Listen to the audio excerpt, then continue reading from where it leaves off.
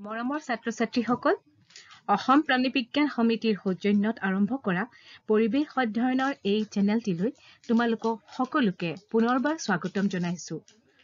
আশা কৰো এই আলোচনাসমূহে তোমালোকক নিশ্চয়কৈ সহায় কৰিছে। মই দেৰগাঁও কমলদুৱাৰা মহাবিদ্যালয়ৰ ডক্টৰ বৃষ্টি দত্তই তোমালোকলৈ আজি আগবঢ়াবলৈ লৈছো। দ্বিতীয় পাঠগোট অৰ্থাৎ পৰিস্থিতি তন্ত্ৰৰ অন্তৰ্গত এটি অত্যন্ত গুৰুত্বপূৰ্ণ পাঠ। তৃণভূমি পৰিস্থিতি তন্ত্ৰ। মূল পাঠটি যুগুত কৰিছে আনন্দৰাম ঢেকিয়াল ফুকন মহাবিদ্যালয়ৰ সহকাৰী অধ্যাপিকা ডক্টৰ আফিফা কোচাৰ মহোদয়াই। আহা এতিয়া আমি পাঠটিৰ আলোচনালৈ যাওঁ। আলোচনাটিৰ অন্তত আমি জানিব পাৰিম তৃণভূমি পৰিস্থিতি তন্ত্ৰৰ গঠন কাৰকসমূহ ক্ৰিয়াগত দিশসমূহ তথা তৃণভূমি পৰিস্থিতি তন্ত্ৰৰ পৰিস্থিতিক গুণাগুণসমূহনো কি? এতিয়া আমি এইখিনি কিছু বিস্তাৰকৈ আলোচনা কৰিম। প্ৰথমে আমি আলোচনা কৰিম তৃণভূমি পৰিস্থিতি তন্ত্ৰ আৰু ইয়াৰ গঠন সম্পৰ্কে। প্ৰকৃততে তৃণভূমি পৰিস্থিতি তন্ত্ৰ মুক্ত স্থলজ পৰিস্থিতি তন্ত্ৰ তৃণভূমিসমূহত মুখ্যতঃ পৱেচী গোত্ৰ বা ঘাঁহজাতীয় উদ্ভিদৰ লগতে বিভিন্ন তৃণজাতীয় তথা গুল্মজাতীয় উদ্ভিদৰ প্ৰাধান্য দেখা পোৱা যায়।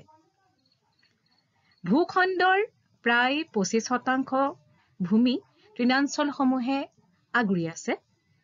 গতিকে পৃথিৱীৰ বিভিন্ন অঞ্চল অঞ্চলত বা অংশত এই তৃণভূমিসমূহৰ অৱস্থিতি দেখা পোৱা যায়। হেতুকে অঞ্চল বিশেষে তৃণভূমিসমূহক বিভিন্ন নামেৰেও জনা যায়।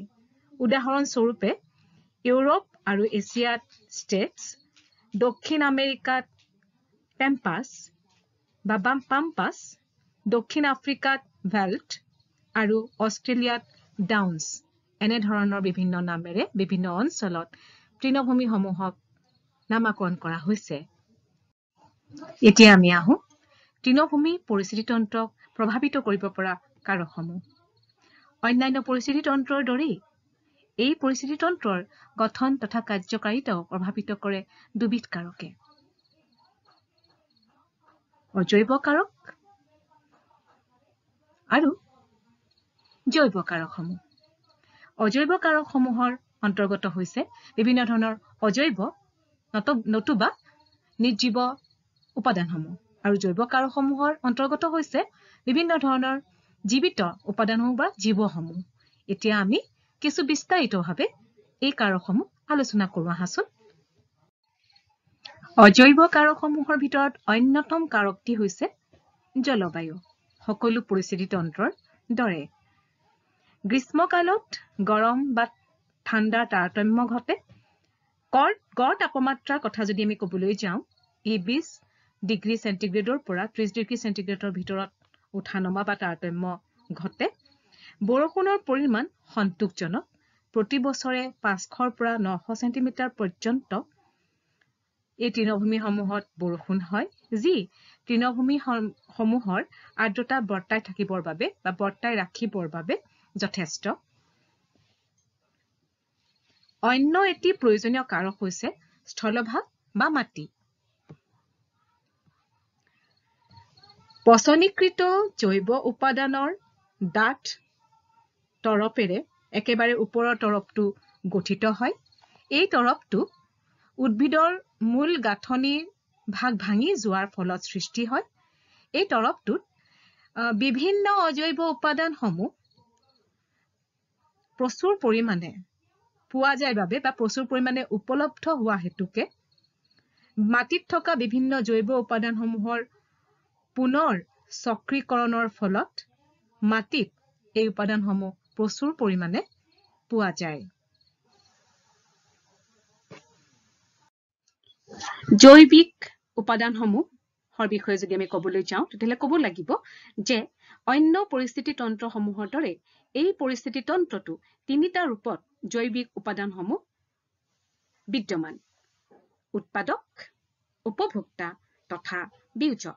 আকৌ কনজিউমাৰ বা উপভোক্তাসমূহক আকৌ প্ৰাথমিক বা প্ৰথম পৰ্যায়ৰ উপভোক্তা দ্বিতীয় পৰ্যায়ৰ উপভোক্তা তথা তৃতীয় পৰ্যায়ৰ উপভোক্তাত ভাগ কৰিব পাৰি। আৰু কোনো কোনো ক্ষেত্ৰত চতুৰ্থ পৰ্যায়ৰ উপভোক্তাও পৰিলক্ষিত হয়। উৎপাদকসমূহৰ ভিতৰত সাধাৰণতে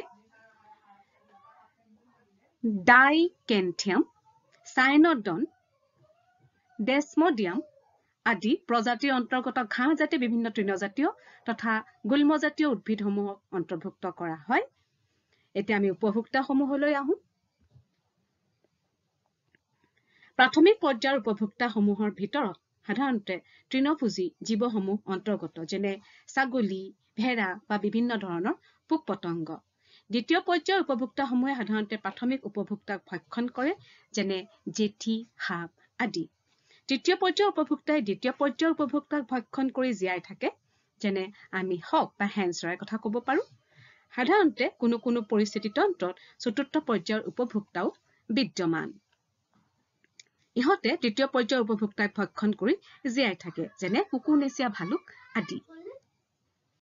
এতিয়া আহোঁ বিয়োজকসমূহলৈ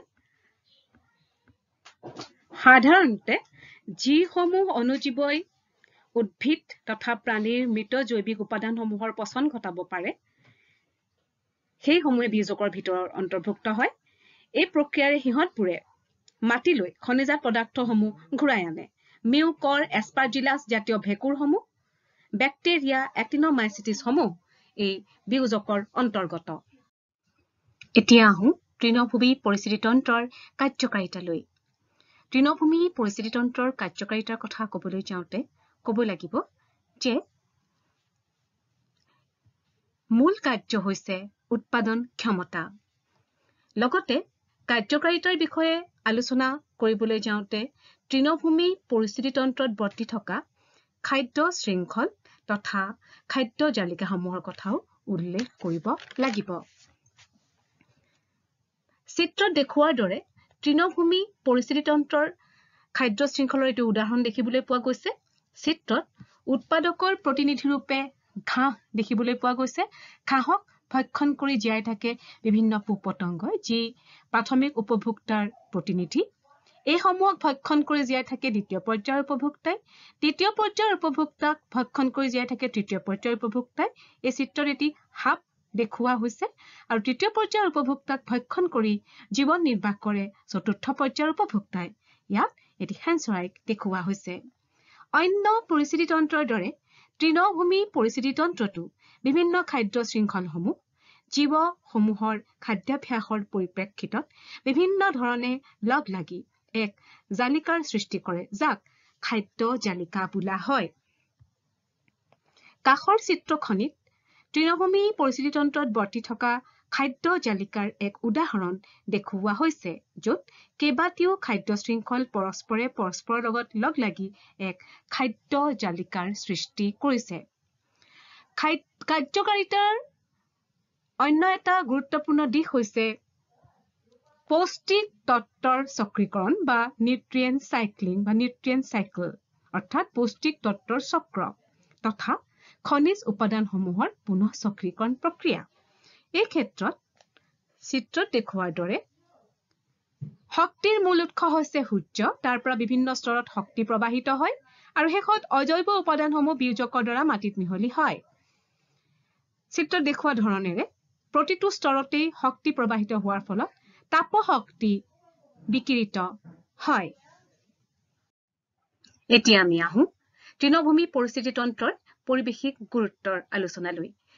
পৰিৱেশিক গুৰুত্বৰ ওপৰত লক্ষ্য কৰিবলৈ হলে আমি ইয়াই ক'ব লাগিব যে তৃণভূমিসমূহে এই ক্ষেত্ৰত যথেষ্ট গুৰুত্বপূৰ্ণ ভূমিকা পালন কৰে।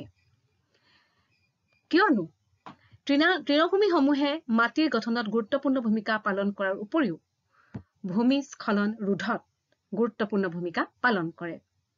লগতে ই পৌষ্টিক তত্ত্বসমূহৰ চক্ৰীকৰণত বিশেষভাৱে ভূমিকা পালন কৰে। কিয়নো ডেট্ৰিটাছ ফুড চেইন বা ধ্বংসাৱশেষ বা পচনীকৃত খাদ্য শৃংখলৰ উপস্থিতিৰ বাবেই এই পৌষ্টিক তত্ত্বসমূহৰ চক্ৰীকৰণত গুৰুত্বপূৰ্ণ ভূমিকা পালন কৰিব পাৰে।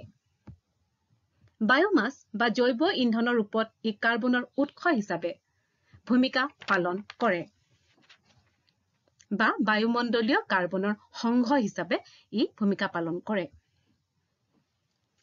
তৃণভূমিসমূহ বিভিন্ন প্ৰকাৰৰ ঘাঁহ তৃণজাতীয় তথা গুল্মজাতীয় উদ্ভিদৰ লগতে ভিন্ন প্ৰকাৰৰ প্ৰাণীৰ বসতি ভূমি হোৱা হেতুকে তৃণভূমিসমূহ জৈৱ বৈচিত্ৰৰ এক উত্তম উৎস হব পাৰে। এই পৰিস্থিতি তন্ত্ৰসমূহে বিভিন্ন প্ৰাণীৰ খাদ্যৰ উৎস ৰূপে গুৰুত্বপূৰ্ণ ভূমিকা পালন কৰিব পাৰে।